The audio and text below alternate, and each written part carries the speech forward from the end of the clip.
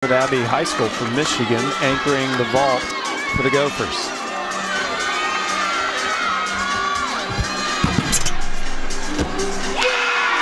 Wow.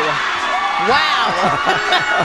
I was speechless second because she just found that. I mean, that was unbelievable. That's what we're used to seeing from Michigan.